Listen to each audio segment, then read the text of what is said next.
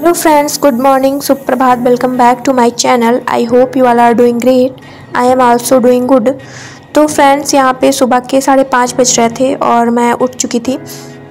मैंने अपना daily routine freshen up वगैरह हो लिया और उसके बाद फिर मैं बाहर जो है टहलने के लिए आ गई थी और क्योंकि मौसम जो है अच्छा था सुबह तो मैं टहल रही थी और एक्सरसाइज कर रही थी।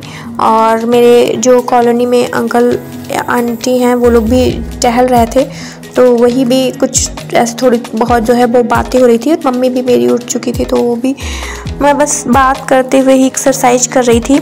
और यहाँ पे मुझे, मैंने पता नहीं कहाँ पे देखा था कि इससे थोड़ी बहुत हाइट में फ़र्क पड़ती है तो मैं भी अपनी हाइट को सुधारने के लिए ये वाला एक्सरसाइज कर रही थी। उसके बाद फिर मैं अंदर आ चुकी थी और मेरा टेबल जो है काफ़ी मैसी हुआ पड़ा था तो मैं अपने टेबल को रीअरेंज कर रही थी।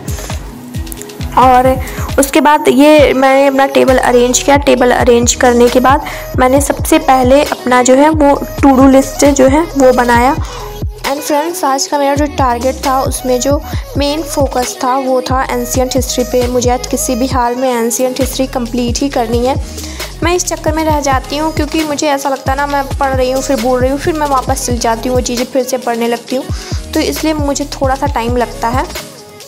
लेकिन आज मैंने सोच लिया कि आज मैं एंशियंट हिस्ट्री ख़त्म ही कर दूँगी और उसके बाद फिर मेडिवल हिस्ट्री में स्टार्ट कर दूँगी किसी भी हाल में। अगर मुझे थोड़ा सा काम भी है क्योंकि हो सकता है गाँव जाना पड़े तो अगर मैं वहाँ चली गई तो हो सकता है कि थोड़ा बहुत रह जाए तो मैं, लेकिन कल तक मैं पक्का है एंशियंट हिस्ट्री कल के बाद फिर मैं नहीं पढ़ूँगी, उसके बाद मुझे मेडिवल हिस्ट्री ही शुरू करना है।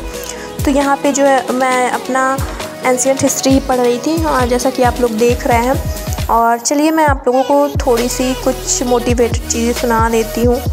कुछ करना है तो डट कर चल, थोड़ा दुनिया से हट कर चल। लीक पर तो सभी चल लेते हैं, कभी इतिहास को पलट कर चल। बिना काम के मुकाम कैसा, बिना मेहनत के दाम कैसा? जब तक ना हासिल हो मंजिल तो राह में आराम कैसा? अर्जुन सा निशाना रख, मन में ना कोई बहाना रख। लक्ष्य सामने है, बस उसी पे अपना ठिकाना रख।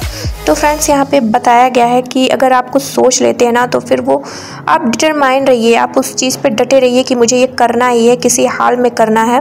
लाइन है ना, अर्जुन सा निशाना रख तो बिल्कुल वैसे ही जैसे अर्जुन ने केवल मछली की आँख देखी थी, बाकी उनको कुछ नहीं दिखा था, वैसे हमें भी केवल अपना लक्ष्य देखना है, उसके आस की चीज़ों से बिल्कुल डिस्ट्रैक्ट नहीं होना है। तो फ्रेंड्स आज के लिए बस इतना ही, तब तक के लिए बाय बाय